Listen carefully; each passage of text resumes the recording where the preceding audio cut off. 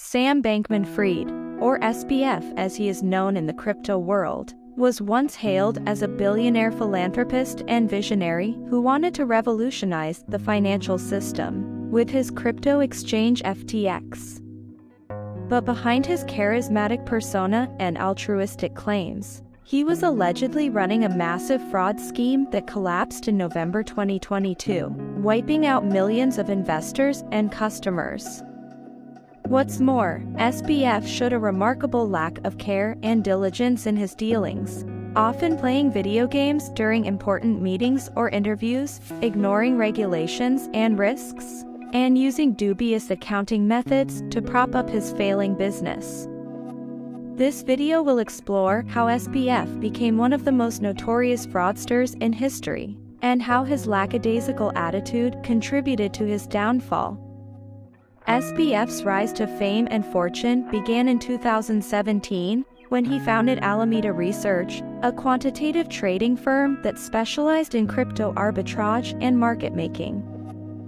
Using his background in physics and his experience as a trader at Jane Street Capital, SBF quickly amassed a fortune by exploiting price differences and inefficiencies in the nascent crypto market. He also gained a reputation as a savvy and generous donor to effective altruism causes, pledging to give away most of his wealth to charities that aim to maximize positive impact.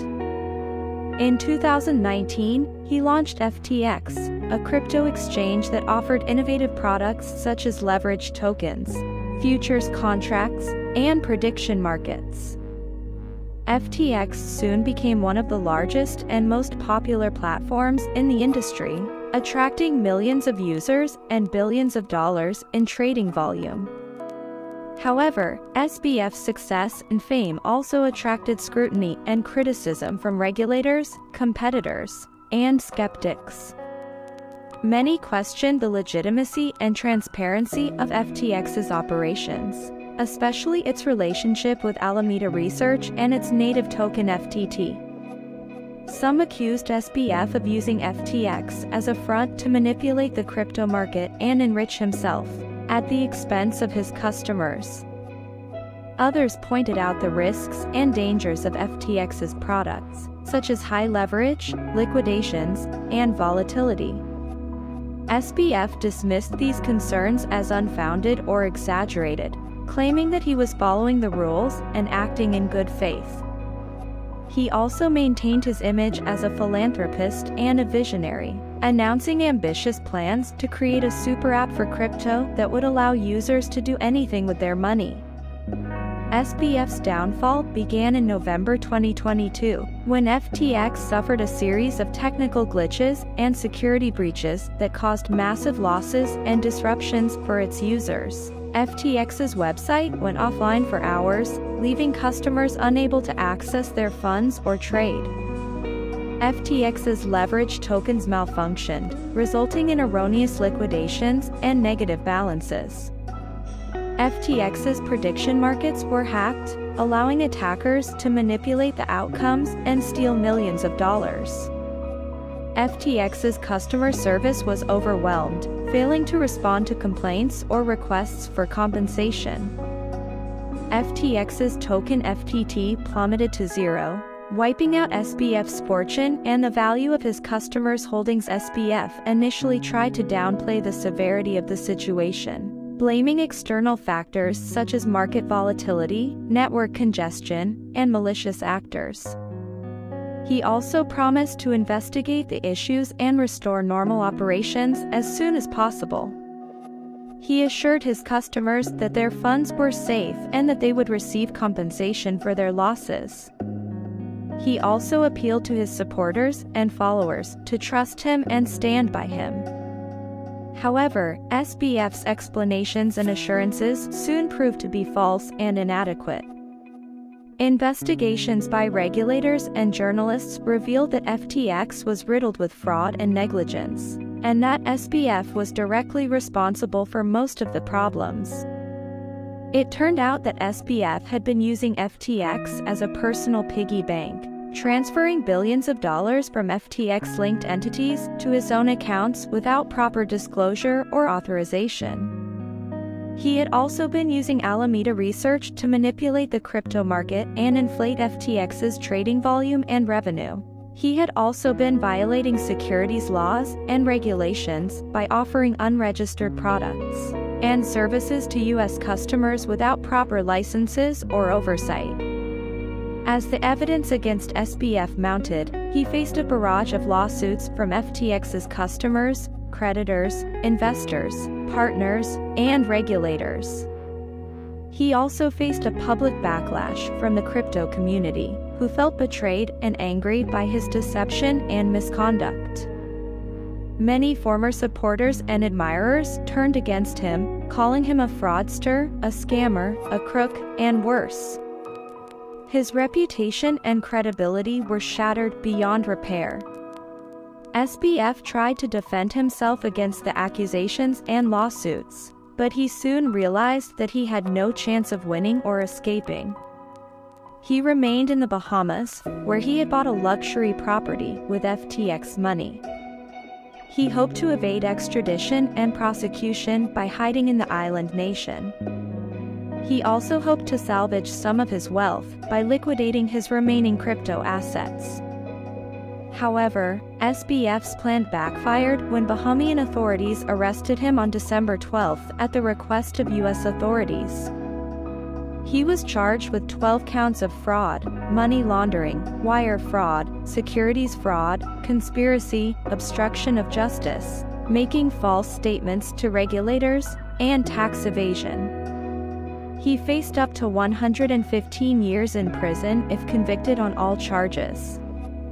He was detained at Fox Hill Prison, a notorious facility known for its harsh conditions and rampant violence. He agreed to be extradited to the U.S. after spending a week in jail.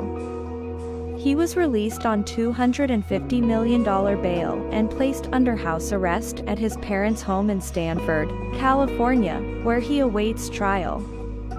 SBF's house arrest was not as comfortable or pleasant as he had hoped. He was constantly monitored by federal agents and electronic devices. He was restricted from using the internet for anything other than legal purposes.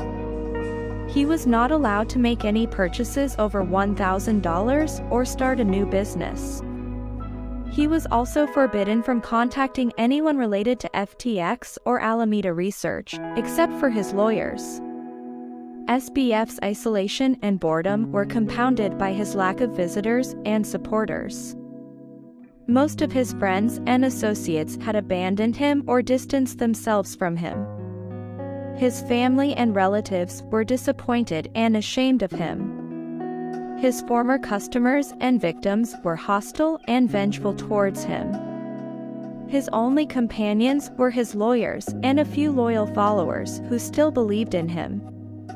SBF tried to maintain his optimism and confidence in the face of his predicament. He claimed that he was innocent and that he would prove it in court. He also claimed that he had done nothing wrong and that he had acted in good faith. He also claimed that he still cared about his customers and that he wanted to compensate them for their losses. However, SBF's claims were contradicted by the evidence and testimony presented by the prosecution of his former colleagues. They showed that SBF had been lying and cheating for years, that he had knowingly committed fraud and negligence, that he had abused his power and influence, that he had harmed millions of people, that he had evaded taxes and regulations, and that he had obstructed justice and made false statements to cover up his crimes. They also showed that SBF had no remorse or regret for his actions, that he felt entitled and superior to everyone else, that he cared only about himself and his wealth, that he lacked empathy and compassion for his customers, and that he was a sociopath and a narcissist. The transfers were revealed by the new management of FTX, led by John J. Ray III, who was appointed as CEO after the bankruptcy filings. They said that Bankman Fried and five members of his inner circle received $3.2 billion in total as payments and loans, mostly from Alameda Research, a crypto trading hedge fund affiliated with FTX. Bankman Fried and his associates spent the money they transferred, such as buying luxury property in the Bahamas, making political and charitable donations, and transferring funds to non debtor subsidiaries in other jurisdictions. Most believe, based on the evidence, Alameda got the $2 billion from FTX customer funds that went to SBF. Alameda allegedly borrowed billions of dollars from FTX accounts and used them for risky trades that resulted in losses. Alameda reportedly masked its liabilities under a pseudonym account on FTX called Our Korean Friend, and modified software code to allow it to borrow unlimited funds from FTX. Many employees and outside auditors were unaware that FTX did not have enough money to match customer withdrawals. SBF has not yet been convicted of any fraud and is still awaiting trial. However, based on some of the allegations and evidence presented by the authorities and the media, here are some possible points explaining how SBF was a fraud. He diverted billions of dollars of FTX customer funds to his privately held crypto hedge fund Alameda Research, without their knowledge or consent. SBF used those customer funds to make undisclosed venture investments, lavish real estate purchases, and large political donations he misled FTX customers about the safety and security of their funds, and the financial health of FTX. Sam misled FTX investors about the profitability and valuation of FTX and Alameda. He misled lenders about the collateral and repayment ability of FTX and Alameda SBF misled regulators about the nature and scope of FTX's business activities and compliance with laws. Sam commingled customer funds with Alameda's trading funds and used them for risky trades that resulted in losses. He masked his liabilities under a pseudonym account on FTX called Bar Korean Friend, and modified software code to allow him to borrow unlimited funds from FTX to SBF, created a bogus Alameda subsidiary called North Dimension where FTX customers could deposit funds without disclosing its relationship with Alameda or FTX. He fraudulently obtained access to a U.S. bank account for North Dimension by lying about its purpose and activities. Sam made unlawful political contributions to both Democrats and Republicans through straw donors to acquire bipartisan influence. SBF failed to register FTX as a securities exchange or broker dealer with the SEC or any state regulators. SAM failed to implement adequate anti money laundering and customer identification policies and procedures at FTX. That he failed to disclose material conflicts of interest between FTX and Alameda and other entities he controlled or invested in SBF failed to maintain adequate capital reserves or liquidity at FTX to meet customer withdrawal requests. He failed to safeguard customer funds from unauthorized access, theft, hacking, or loss. Sam falsified financial statements and reports to conceal his fraud and misrepresent FTX's performance. SBF obstructed justice by destroying evidence, lying to investigators, tampering with witnesses, and fleeing the country. He violated federal tax laws by evading taxes on his income and assets derived from his fraud. Sam exploited his reputation as a philanthropist and an environmentalist to attract customers, investors, partners, sponsors, etc., while engaging in fraudulent activities that harmed them. He exploited his influence as a media personality and a crypto leader to manipulate public opinion and market sentiment, while engaging in fraudulent activities that benefited him. SBF exploited his connections with politicians and regulators to lobby for favorable policies and avoid scrutiny, while engaging in fraudulent activities that violated laws. He exploited his relationships with celebrities, influencers, etc., to endorse his products and services while engaging in fraudulent activities that deceived them. SBF exploited his employees' trust and loyalty by involving them in his fraud scheme without their knowledge or consent. He bought out Binance's stake in FTX using customer funds without informing them or obtaining their consent. Sam spent $240 million on luxury property in the Bahamas using customer funds without disclosing it or paying taxes on it. He gave himself $2.2 billion in loans and payments from FTX entities while running a massive fraud at the crypto exchange. SBF gave $587 million in loans and payments to his former director of engineering Nishad Singh, who later pleaded guilty to fraud charges.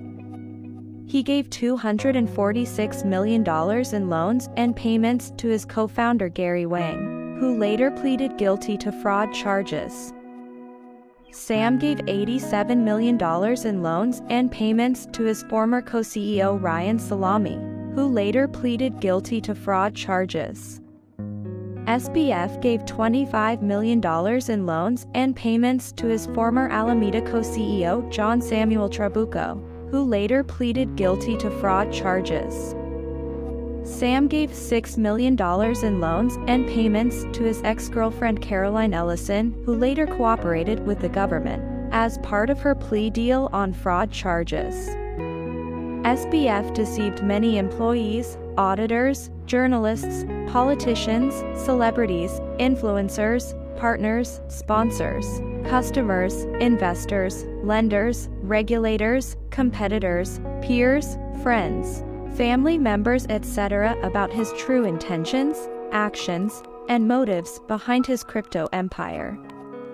It seems that SBF likes to multitask and distract himself with video games while dealing with serious matters he was playing. League of Legends during a pitch meeting with Sequoia investors for FTX's Series B he was playing Storybook Brawl during an interview on Twitter Spaces with Unusual Whales and five other panelists about the FTX collapse. The SBF was playing Storybook Brawl to unwind and clear his mind after losing $16 billion and facing potential prison time. Sam Bankman Fried was once hailed as a crypto visionary and billionaire, but his reckless and fraudulent actions led to the downfall of his FTX empire and the loss of billions of dollars for his customers and investors. He is now facing multiple federal charges and lawsuits, while his former associates are cooperating with the authorities. His story is a cautionary tale of how greed, arrogance, and deception can ruin a promising career and tarnish an entire industry.